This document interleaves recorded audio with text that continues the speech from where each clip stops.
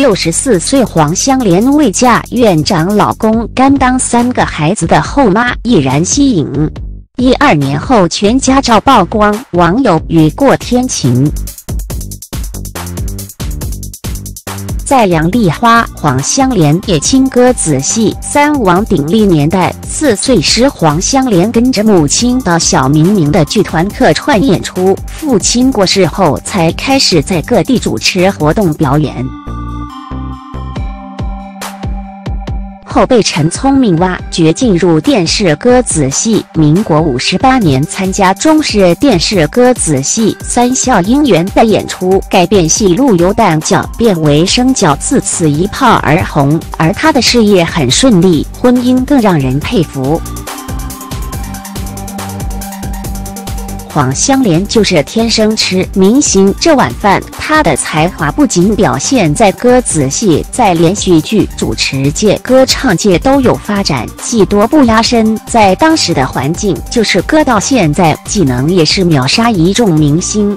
事业上红红火火的她，在婚姻上一样幸福美满。在二零零零年千禧年的时候，他遇到了生命中的真命天子——台湾国家研究院院长吴成文，两人直到二零零六年登记结婚。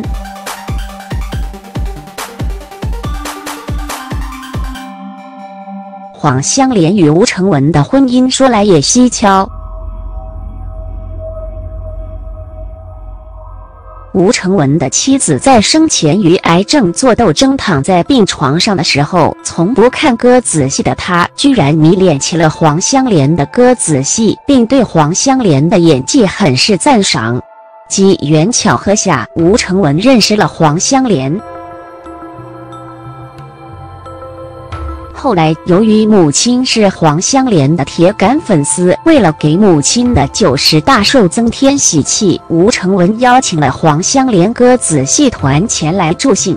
没想到寿宴结束后，黄香莲非但不收吴成文的钱，还给铁杆粉丝，也就是吴成文的妈妈包了一包大红包，他们也因此成了好朋友。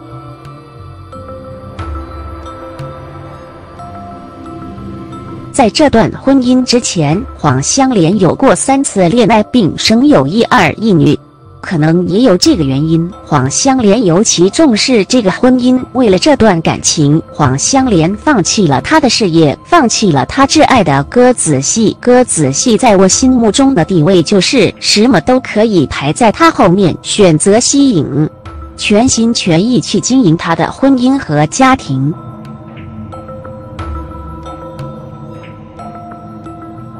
由于吴成文是离过婚，并育有三个孩子，婚后的黄香莲就是五个孩子的妈了。说到这里，不得不佩服黄香莲的高超的为人母之道。黄香莲把这三个孩子当成自己的孩子一样对待，换来了三个孩子也真心把黄香莲当成母亲对待。其实说是母亲，他们更像朋友。三孩子有事可能不会找吴成文说，但一定会跟黄香莲聊。现在五个个孩子发展的很好，其中个成了专业人士，一个律师，一个医生，一个教授。